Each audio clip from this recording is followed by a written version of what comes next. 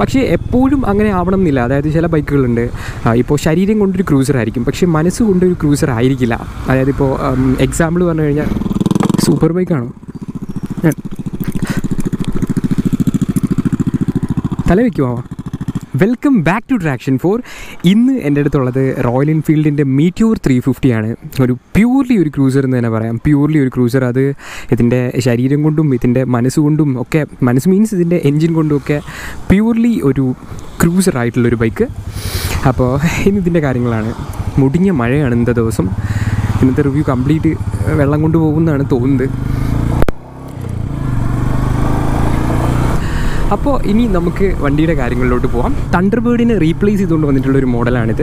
എനിക്ക് സത്യം പറഞ്ഞാൽ അവരുടെ ത്രീ ഫിഫ്റ്റി സീരീസിന്റെ അടുത്തോ അല്ലെങ്കിൽ ഫൈവ് ഹൺഡ്രഡ് സി സി എഞ്ചിന്റെ അടുത്തൊന്നും വലിയ താല്പര്യമൊന്നും ഇല്ലായിരുന്നു ആദ്യ സമയങ്ങളിൽ ഇടയ്ക്ക് വെച്ചൊരു റൈഡ് പോകാനുള്ളൊരു പ്ലാനിലായിരുന്നു അന്നൊരു ഡ്യൂപ് ടു ഹൺഡ്രഡിൽ കന്യാകുമാരി ഒരു റൈഡ് പോകാനുള്ളൊരു പ്ലാനിലായിരുന്നു അതിന്റെ തലേ ദിവസം ഡ്യൂപ് ടു ഹൺഡ്രഡിന്റെ ഈ ഓയിൽ സീൽ പൊട്ടി ആകെ സീനായി അങ്ങനെ പെട്ടെന്ന് ഒരു ബൈക്ക് വേണ്ടി വന്നു. അങ്ങനെ എന്റെ ഒരു ഫ്രണ്ടിന്റെ തണ്ടർ ബേർഡ് ഫൈവ് ഹൺഡ്രഡ് അത് അത്യാവശ്യം നന്നായിട്ട് പണിഞ്ഞൊരു ബൈക്കായിരുന്നു നല്ലൊരു അപ്രൈറ്റ് ഹാൻഡിൽ ബാറൊക്കെ വെച്ച് ഓൾറെഡി തണ്ടർ ബേർഡ് അത്യാവശ്യം നല്ല അപ്രൈറ്റ് ആണ്. അപ്പോൾ അതിൽ അത്യാവശ്യം ആഫ്റ്റർ മാർക്കറ്റ് ഹാൻഡിൽ ബാറൊക്കെ വെച്ചിട്ട് വിഷയം ബൈക്കായിരുന്നു. അപ്പോൾ അതിൽ പോകാനുള്ള ഒരു അവസരം കിട്ടി. ആക്ച്വലി അന്ന് ഞാൻ പോയപ്പോഴൊന്നും എനിക്ക് ഒരു നല്ലൊരു ഫീൽ ഒന്നും ആയിരുന്നില്ല. കാരണം തണ്ടർ ഡ്യൂ ടു ഹൺഡ്രഡ് എന്നൊക്കെ പറയുന്നത് രണ്ടിന്റെയും പവർ രണ്ട് ലോകമാണ്. അപ്പോൾ രണ്ട് രീതിക്കാണ്. അപ്പോൾ എനിക്കൊരു ബോർ റൈഡ് ആയിരിക്കും എന്നൊക്കെ വിചാരിച്ചാണ് ഞാൻ ആ ബൈക്ക് ഓടിച്ചത്. ആക്ച്വലി ആദ്യമൊക്കെ ബോറായിട്ട് തന്നെ തോന്നിയത്. പിന്നെ ഡ്യൂ ടു ഹൺഡ്രഡിൽ പോകാൻ നിന്നുകൊണ്ട് തന്നെ അന്ന് കേൾക്കാനായിട്ട് വെച്ചിരുന്ന പാട്ടെല്ലാം ഐറ്റം ഡാൻസും അല്ലെങ്കിൽ ഡിസ്കോ ഡിസ്കോ ടൈപ്പൊക്കെ ആയിരുന്നു. അപ്പോൾ അത് തണ്ടർ ബേർഡിലിരുന്ന് കേൾക്കുക എന്ന് പറയുമ്പോൾ ഒരുമാതിരി അമ്പലത്തിൽ ഡെസ്പാസിറ്റ് ഇട്ട പോലെ ആയിപ്പോയി. ഒരു മാച്ചിങ്ങും ഇല്ലായിരുന്നു. അതായത് ഈ ലോങ് സ്ട്രോക്ക് എഞ്ചിന്റെ ബിഹേവിയർ എന്ന് പറയുന്നത് കുറച്ച് ഡിഫറെന്റ് ആണ്. അത് ഒരിക്കലും നമ്മൾ എത്രയൊക്കെ പുഷ് ചെയ്താലും അതിന്ന് വരുന്നൊരു പവറിംഗ് ഉണ്ട്. ആ ഒരു രീതിക്ക് മാത്രമേ ലോങ് സ്ട്രോക്ക് എഞ്ചിൻസ് പവർ ചെയ്യാറുള്ളൂ സാധാരണ രീതിയിൽ അപ്പോൾ ആദ്യമൊക്കെ ആ ഒരു റൈഡിൽ എനിക്ക് കുറച്ചൊക്കെ ഒരു ഒരു എന്തോ ഒരു ബോർ ഫീലൊക്കെ തോന്നി. പക്ഷേ പിന്നെ അങ്ങോട്ട് അത്യാവശ്യം മെലഡീസ് ഒക്കെ ഇട്ട് ഓട്ടിച്ചു തുടങ്ങിയപ്പോഴാണ് സാധനം അത്യാവശ്യം ഗുമ്മാണ് അല്ലെങ്കിൽ അതിന്റെ ഒരു ഫീൽ മനസ്സിലായത്. ഈ ലോങ് സ്ട്രോക്ക് എഞ്ചിന്റെ ഒരു ഫീൽ എനിക്ക് മനസ്സിലായി തുടങ്ങിയത്. അതിനുശേഷം തണ്ടർബേർഡ് എനിക്ക് ഭയങ്കര ഇഷ്ടപ്പെട്ടു. ഇപ്പോഴും ആ ഒരു ട്രിപ്പ് ആലോചിക്കുമ്പോൾ എനിക്കൊരു നൊസ്റ്റാൾജിയ ഫീലാണ് അത് തന്നത് തണ്ടർബേർഡാണ് അപ്പോൾ അതിനുശേഷം തണ്ടർബേർഡ് ഡിസ്കണ്ടിന്യൂഡ് ആയിപ്പോയി അപ്പോൾ എനിക്ക് നല്ല വിഷമമായി തണ്ടർബേർഡ് പോയതിന്റെ പക്ഷേ ഇപ്പോൾ ഞാൻ ഫുള്ളി സാറ്റിസ്ഫൈഡ് ആണ്. ഫുള്ളി സാറ്റിസ്ഫൈഡ് എന്ന് പറഞ്ഞാൽ ഞാൻ ഈ ബൈക്ക് ഓക്കെയാണ് കാരണം തണ്ടർബേർഡിൽ എന്തൊക്കെ ഉണ്ടായിരുന്നു? അതെല്ലാം ഈ ബൈക്കിലുണ്ട് അഡീഷണൽ ആയിട്ട് കുറേ കാര്യങ്ങൾ ചെയ്തിട്ടുണ്ട് ഈ ഒരു ബൈക്കിൽ അപ്പോൾ തണ്ടർബേർഡ് ലവേഴ്സിനൊന്നും ഒരിക്കലും ഈ ബൈക്ക് ഒരു ഡിസപ്പോയിന്റിംഗ് ആയിട്ടുള്ളൊരു സാധനമായിരിക്കില്ല. പെർഫെക്റ്റ്ലി ഒരു തണ്ടർബേർഡ് അത്യാവശ്യം ക്ലീൻ ആയിട്ടുള്ളൊരു തണ്ടർബേർഡ് അതാണ് എനിക്കിതിൽ ഫീൽ ചെയ്യുന്നത്.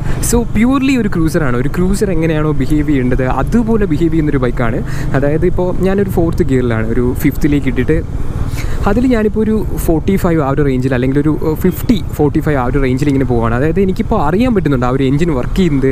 പച്ചയ്ക്ക് പറഞ്ഞു കഴിഞ്ഞാൽ ആ ഒരു എന്താ പറയുക ഓരോ സ്ട്രോക്കും എൻജോയ് ചെയ്ത് ഓട്ടിക്കുക എന്ന് പറയുന്ന ഒരു രീതിയാണ് ക്രൂസറിനുള്ളത്. അല്ലാതെ ത്രോട്ടിൽ ഒരുപാട് പൊട്ടിച്ച് ഓട്ടിക്കുക അല്ലെങ്കിൽ ത്രോട്ടിൽ ആക്സിലറേറ്റ് ചെയ്യുക എന്ന് പറയുന്നത് വളരെ സ്മൂത്തായിട്ട് വളരെ പതുക്കെ ആക്സിലറേറ്റ് ചെയ്ത് ടോപ്പ് ഗിയറിൽ അത്യാവശ്യം ഓരോ സ്ട്രോക്കും എൻജോയ് ചെയ്ത് പോകുന്ന ആ ഒരു രീതിയാണ് സത്യത്തിൽ ഒരു ക്രൂസറിന് വേണ്ടത്. അത് അക്സെപ്റ്റ് ചെയ്യുന്ന എഞ്ചിൻസിനെയാണ് നമ്മൾ സത്യം പറഞ്ഞാൽ ഒരു ക്രൂസർ എഞ്ചിൻ അല്ലെങ്കിൽ ഒരു ക്രൂസറിൽ ഇരിക്കേണ്ട എഞ്ചിൻ എന്ന് പറയുന്നത്.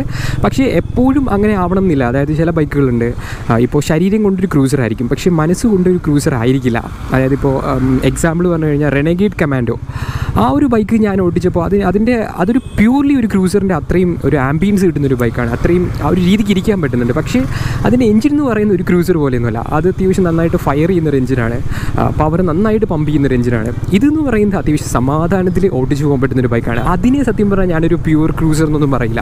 ഇത് പക്ഷേ പ്യൂർലി ഒരു ക്രൂസറാണ് ഒരു ക്രൂസർ എങ്ങനെയാണോ എൻജോയ് ചെയ്യാൻ പറ്റുന്നത് അതുപോലെ എൻജോയ് ചെയ്യുക അതുകൊണ്ടാണ് ഞാൻ ആദ്യം തൊട്ടേ പറയുന്നത് ഇത് പ്യൂർലി ഒരു ക്രൂസറാണ് പ്യൂർലി ഒരു ക്രൂസറാണെന്നൊക്കെ എനിക്ക് സത്യം പറഞ്ഞാൽ അന്ന് തണ്ടർബേഡിൽ ഫീൽ ചെയ്ത രണ്ട് നെഗറ്റീവ് പോയിന്റ്സ് ആണ്. ഒന്ന് വൈബ്രേഷൻ അത് റോയൽ എൻഫീൽഡിന്റെ ഒരു എന്താ പറയുക കുലമഹിമയാണ് അത് പോകത്തൊന്നുമില്ല. അപ്പോൾ അത് ഒന്നാമത്തെ കാര്യം രണ്ട് വെയിറ്റ് ആണ്. അത് ഒരു നെഗറ്റീവായിട്ട് പറഞ്ഞത് എന്റെ ഒരു ശരീരപ്രകൃതി വെച്ചിട്ടാണ്. ഞാൻ അത്യാവശ്യം ചെറുതാണ്. അതുകൊണ്ട് തന്നെ ഹെവി ആയിട്ടുള്ള ബൈക്കുകൾ എനിക്ക് കുറച്ച് ബുദ്ധിമുട്ടാണ്.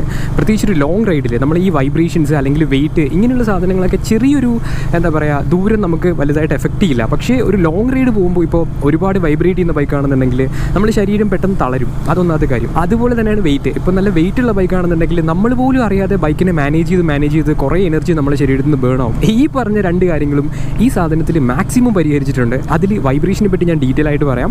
രണ്ടാമത്തെ കാര്യം വെയിറ്റ് ആണ്. വെയിറ്റ് കിടിലമായിട്ട് പരിഹരിച്ചിട്ടുണ്ട്. പക്ഷേ നിങ്ങൾ സ്പെക്ഷീറ്റൊക്കെ നോക്കിക്കഴിഞ്ഞാൽ ഓൾമോസ്റ്റ് ആ ഒരു തണ്ടർബേർഡിന്റെ അത്രയും വെയിറ്റ് ഉണ്ട്. പക്ഷേ ഇത് ഒരുപാട് വെയിറ്റ് ഫീൽ ചെയ്യുന്നില്ല. വളരെ നിമ്പിളായിട്ട് ഓടിക്കാൻ പറ്റുന്നുണ്ട്.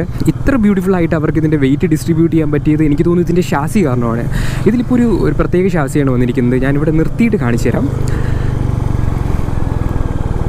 പണ്ട് തണ്ടർബേർഡിനൊക്കെ ഒരു സിംഗിൾ ഷാസി അറേഞ്ച്മെന്റിലാണ് അത് എഞ്ചിനെ ക്യാരി ചെയ്തിരുന്നത്. പക്ഷേ ഇപ്പോൾ ഇത് സ്പ്ലിറ്റ് ആയിട്ടുള്ള ഒരു അറേഞ്ച്മെന്റിലാണ് ഇപ്പോൾ ഇത് ഈ എഞ്ചിനെ ക്യാരി ചെയ്യുന്നത്.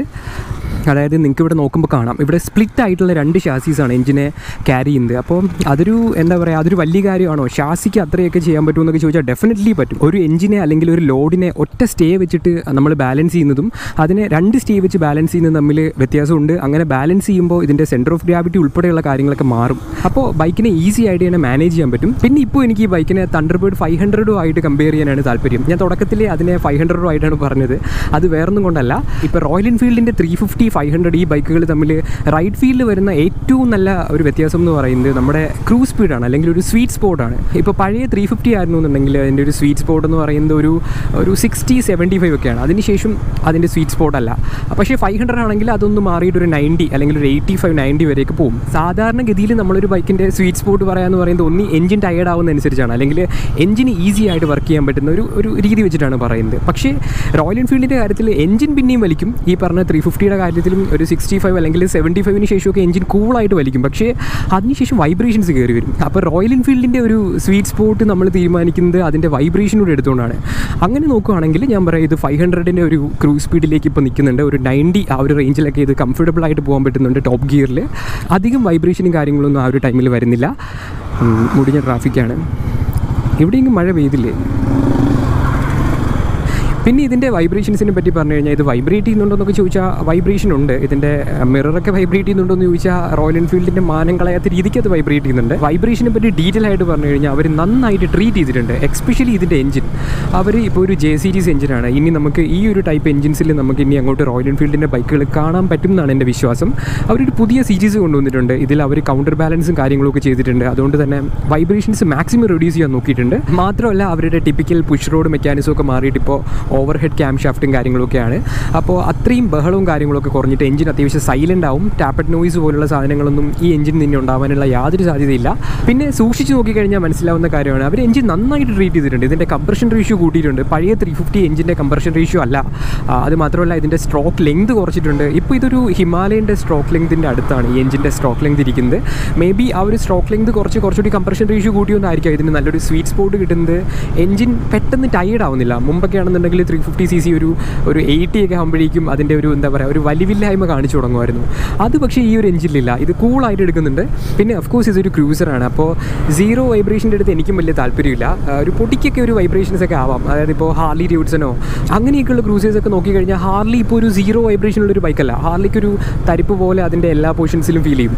അതൊരു സുഖമുള്ളൊരു വൈബ്രേഷനാണ് നമ്മൾ ഇറിറ്റേറ്റ് ചെയ്യാതെ എന്താ പറയുക എഞ്ചിന്റെ ഒരു പൾസ് നമുക്ക് അറിയാൻ പറ്റുന്ന പോലെ അല്ലെങ്കിൽ എഞ്ചിൻ പവർ പമ്പ് ചെയ്യുന്നത് നമ്മുടെ ബോഡിയുടെ എവിടെ പിടിച്ച് നോക്കി കഴിഞ്ഞാലും ബ്ലഡ് പമ്പ് ചെയ്യുന്ന പോലെ അറിയാൻ പറ്റുന്ന രീതിക്കുള്ള ഒരു പൾസ് ഫീലാണ് അപ്പോൾ അങ്ങനെയുള്ളൊരു വൈബ്രേഷൻസ് ഒരു ക്രൂസറിന് വേണം. ആ ഒരു രീതിക്കുള്ള വൈബ്രേഷൻസ് ആണ് അല്ലെങ്കിൽ ഒരു സുഖമുള്ളൊരു വൈബ്രേഷനാണ് ഇപ്പോൾ ഇതിന്റെ ലോവർ എൻഡിലും മിഡ് റേഞ്ചിലും കാണാൻ പറ്റുന്നത്. ഇത് വൈബ്രേറ്റ് ചെയ്യുന്നത് കുറച്ച് ഹയർ ലെവലിലേക്ക് കയറുമ്പോൾ അത്യാവശ്യം നന്നായിട്ട് വൈബ്രേറ്റ് ചെയ്യും.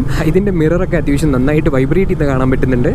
സോ സീറോ വൈബ്രേഷൻ എന്നുള്ള കൺസെപ്റ്റിലൊന്നും ആരും വരരുത്. ഇത് പഴയ തണ്ടർബേഡിനെക്കാട്ടിയും കുറച്ചുകൂടിയൊക്കെ അല്ലെങ്കിൽ തണ്ടർബേഡ് ത്രീ ഫിഫ്റ്റി ക്ലാസിക് സ്റ്റാൻഡേർഡൊക്കെ വെച്ച് നോക്കുമ്പോൾ അത്യാവശ്യം നീറ്റായിട്ട് ചെയ്തിട്ടുണ്ട്. അപ്പോൾ ഞാനിതിനെ എവിടെ എവിടെയെങ്കിലും നിർത്തിയിട്ട് നമുക്ക് കുറച്ച് കാര്യങ്ങൾ പറയാം.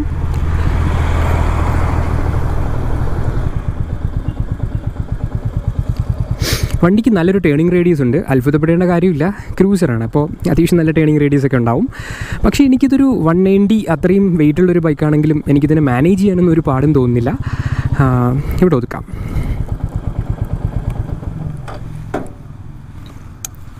അപ്പോൾ ഈ കാണുന്നതാണ് ബൈക്കിന്റെ ഒരു ലുക്ക് എന്ന് പറയുന്നത്. റോയൽ എൻഫീൽഡിന്റെ ത്രീ ഫിഫ്റ്റി ഫൈവ് ഹൺഡ്രഡ് സീരീസിൽ ഞാൻ കണ്ടതിൽ വെച്ച് ഏറ്റവും ഫിനിഷ് കൂടിയ ബൈക്ക് ഇതാണ്. അത്രയ്ക്ക് ഫിനിഷായിട്ട് ചെയ്തിട്ടുണ്ട്.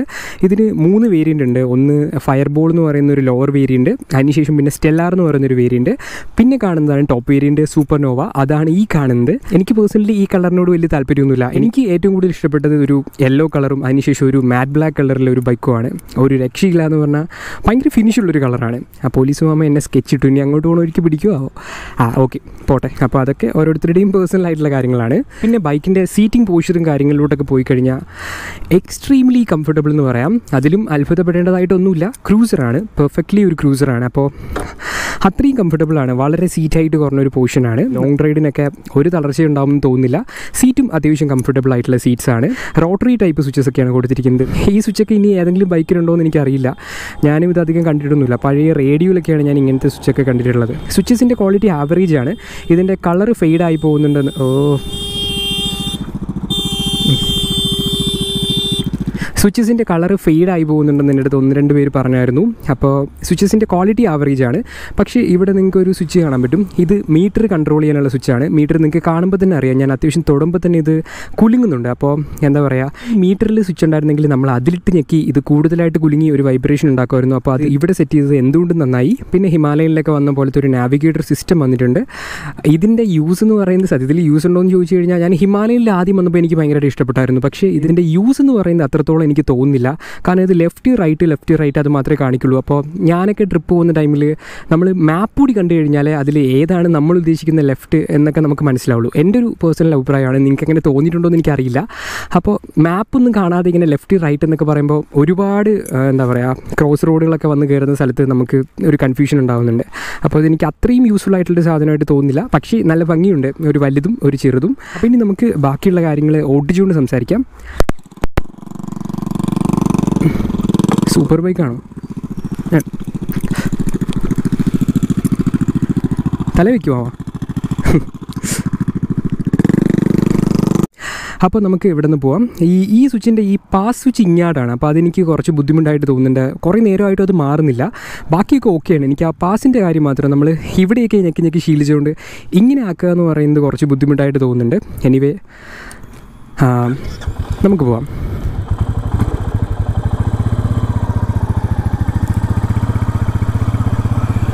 പിന്നെ ബ്യൂട്ടിഫുൾ ആയിട്ടുള്ളൊരു ഗിയർ ബോക്സ് ബ്യൂട്ടിഫുൾ ആയിട്ടുള്ളൊരു ഗിയർ റേഷ്യോ ഇത് രണ്ടും ഈ ബൈക്കിനുണ്ട് ഗിയർ ബോക്സ് സത്യം പറഞ്ഞാൽ ഒരു രക്ഷയില്ല ഒരു ന്യൂട്രലൊക്കെ വീഴുന്നതൊന്നും നമ്മൾ എന്താ പറയുക തപ്പി പിടിക്കേണ്ട കാര്യമൊന്നുമില്ല. ആവശ്യത്തിന് നമ്മൾ ഷിഫ്റ്റ് ചെയ്ത് കൊടുത്തു കഴിയുമ്പോൾ ന്യൂട്രൽ വീഴുന്നുണ്ട്. അനാവശ്യമായിട്ട് ഫോൾസ് ന്യൂട്രൽസോ അങ്ങനെയൊന്നും കിട്ടുന്നില്ല. പിന്നെ ഗിയർ റേഷ്യോ പെർഫെക്റ്റ്ലി ഒരു ക്രൂസർ പോലത്തെ ഒരു ഗിയർ റേഷ്യോ അതായത് ക്രൂസേഴ്സിന്റെ ഒരു ഫസ്റ്റ് സെക്കൻഡ് തേർഡ് ഒന്നാമത്തെ കാര്യം ഇതൊരു പിങ് മോട്ടറാണ്. അതുകൊണ്ട് തന്നെ ഫസ്റ്റ് സെക്കൻഡ് തേർഡൊക്കെ നമ്മൾ പടപടാന്ന് പറഞ്ഞ് ഷിഫ്റ്റ് ചെയ്യും. അതിനുശേഷം ഒരു ക്രൂസറിന്റെ ജീവൻ എന്ന് പറയുന്നത് ഇതിന്റെ ലാസ്റ്റ് ഗിയറും അല്ലെങ്കിൽ സെക്കൻഡ് ലാസ്റ്റ് ഗിയറും ലാസ്റ്റ് ഗിയറും ഒക്കെയാണ്. ആ ഒരു ഫോർത്ത് ഫിഫ്ത്ത് ഒക്കെ അത്യാവശ്യം നന്നായിട്ട് എടുക്കുന്നുണ്ട്. ബാക്കിയുള്ള ഗിയേഴ്സും നമുക്ക് തിരിച്ചറിയാനൊന്നും പറ്റില്ല. സെക്കൻഡ് തേർഡും നമുക്ക് തിരിച്ചറിയാൻ പറ്റില്ല. സാധാരണഗതിയിൽ കാരണം ക്രൂസേഴ്സ് എല്ലാം നോർമലി അത്യാവശ്യം നല്ല ടോർക്കി ആയിരിക്കും അത്യാവശ്യം നല്ല പഞ്ചി ആയിരിക്കും. അതുകൊണ്ട് തന്നെ നമ്മൾ ഏത് ഗിയർ ഇട്ടാലും ഏകദേശം ഒരുപോലത്തെ ഒരു ഇനിഷ്യൽ ഇംപ്രഷൻ ആയിരിക്കും. നമുക്ക് അധികം അറിയാൻ പറ്റില്ല. പക്ഷേ ഇതിലൊരു ഗിയർ പോഷൻ ഇൻഡിക്കേറ്റർ കൊടുത്തിട്ടുണ്ട്. ഒരു ക്രൂസറിന്റെ ഗിയർ റേഷ്യോ അങ്ങനെയൊക്കെയാണ് വരേണ്ടത്. അതായത് നല്ല പഞ്ചി ആയിരിക്കണം ഓരോ ഗിയേഴ്സും നല്ല റെസ്പോൺസീവ് ആയിരിക്കണം. പിന്നെ ഇതിന്റെ മൈലേജ് ഒരു തേർട്ടി ടു തേർട്ടി ഫൈവ് ആ ഒരു റേഞ്ചിലൊക്കെയാണ് ഇതിന്റെ മൈലേജ് പറയുന്നത്. ആക്ച്വലി കമ്പനി ഒരു ഫോർട്ടി ക്ലൈം ചെയ്യുന്നുണ്ട്. നോർമലി ഓണേഴ്സ് ആയിട്ടുള്ള ആളുകൾ ഒരു തേർട്ടി ഫൈവ് ഒക്കെയാണ് പറയുന്നത്. പക്ഷേ ഇത് ഇതിന്റെ മൈലേജും ഇതിന്റെ സെക്കൻഡ് സർവീസിനൊക്കെ ശേഷം അത്യാവശ്യം കൂടുതൽ കിട്ടുമെന്ന് പ്രതീക്ഷിക്കാം.